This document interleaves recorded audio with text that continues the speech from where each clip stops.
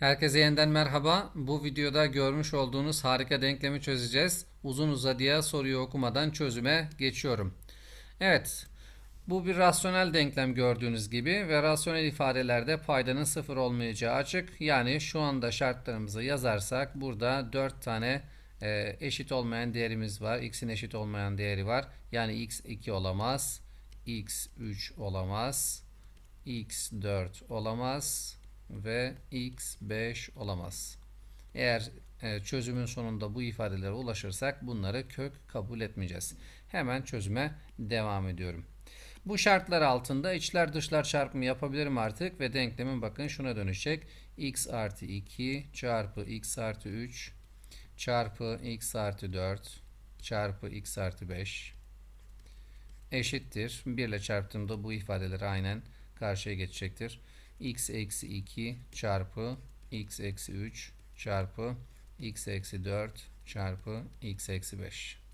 Sayılar simetrik gördüğünüz gibi.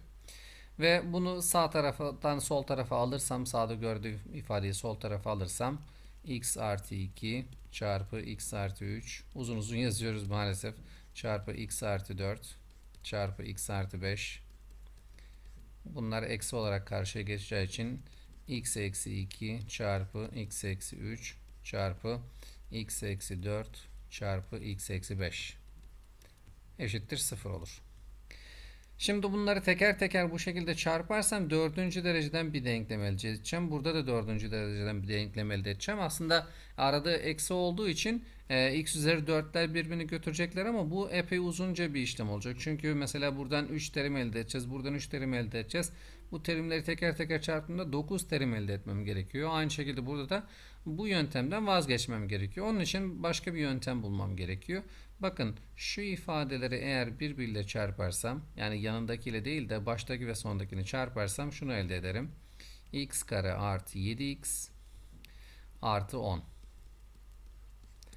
Aynı şekilde ikinci ve üçüncü ifadeyi de çarparsam buradan da x kare artı 7x artı 12 gelecek.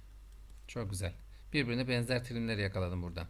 Eksi bu tarafta da negatifli terimler gelecek. Yani aynı şekilde birinci ve dördüncüyü çarparsam x kare eksi 7x gelecek bu defa. Ve artı 10. Yine artı 10. Yine ikinci ile üçüncüyü çarparsam x kare eksi 7x artı 12 eşittir 0 olacak. Tamam. Buradan iş e, farklı bir terim kullanarak daha kısa denklemler elde etmeye çalışıyorum. Mesela burada x artı 7x'e a dersem bu da a olacak. Buna da b diyeyim mesela. b. Bu durumda denklemim a artı 10 çarpı a artı 12 eksi b artı 10 çarpı b artı 12 olacak. Eşittir 0 tabii ki. Şimdi yeni sayfaya geçiyoruz. Yeni sayfada ne elde ettik bakın. Burayı yazalım. a artı 10 çarpı a artı 12 eksi b artı 10 çarpı b artı 12 eşittir 0. Mavi ile devam edeyim. Rengi sevdim. Ee, buradan eğer bunları çarparsak a kare e, artı 12a artı 120 gelecek. Eksi parantez içinde yazalım hepsini. b kare artı 22b pardon burada 12 değil 22 olacak özür dilerim. 10a buradan gelecek. 12a da buradan gelecek. 22a olacak. 22b 22b artı 120 eşittir 0 olacak. Parantezi açalım. a kare eksi b kareyi buraya yazacağım. Daha sonra kullanacağım onu. Artı 22a bakın burada da eksi 22b gelecek buradan da 22b. Şimdi burada artı 120 var. Burada da eksi 120 olacak. Eşittir 0. Sadeleştirmeleri yapalım. Daha sade olacak gördüğünüz gibi. Tamam. Güzel devam edelim. Şimdi bakın bu iki kare farkı bunu ben a eksi b çarpı a artı b şeklinde yazabilirim. Eksi 22 parantezini alırsak buradan pardon artı 22 parantezini alırsak a eksi b elde ederim. Eşittir 0.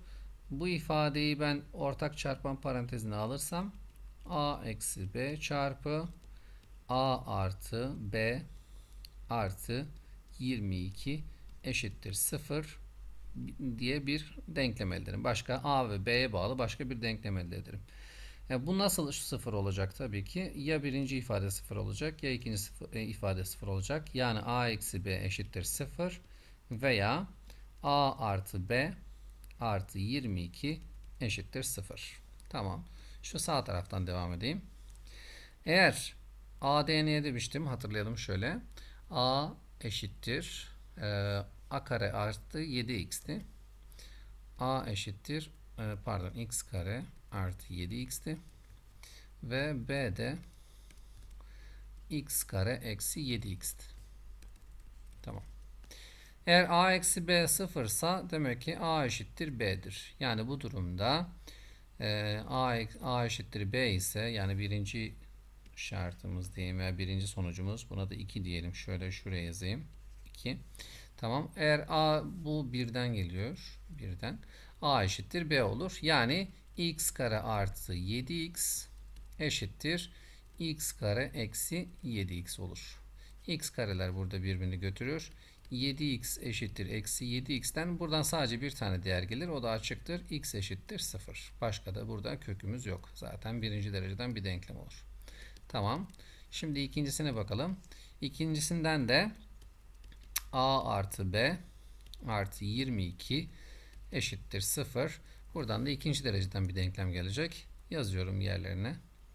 x kare artı 7x artı x kare eksi 7x artı 22 eşittir 0. Orada bu 77 değil 7x. Şimdi sadeleştirmeleri yaparsak şu artı 7x ile eksi 7x birbirine götürür. Devam edelim yine maviyle.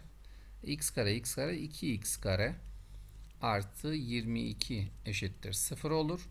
Her iki tarafı 2'ye bölersem x kare artı 11 eşittir 0. x kare eşittir eksi 11 olur. Reel sayılardan hiçbir tanesinin karesi eksi 11 olmayacağına göre buradan reel çözüm gel gelmeyecek. Yani gerçel çözüm yok burada arkadaşlar. Gerçel çözüm çözüm yok. Yani bu durumda denklemimizin bir tane kökü var arkadaşlar. O da bu muhteşem denklemimizin bir tane kökü var. O da 0. Evet umarım videomuzu beğenmişsinizdir. Daha sonraki videolarda görüşmek dileğiyle. Şimdilik hoşçakalın.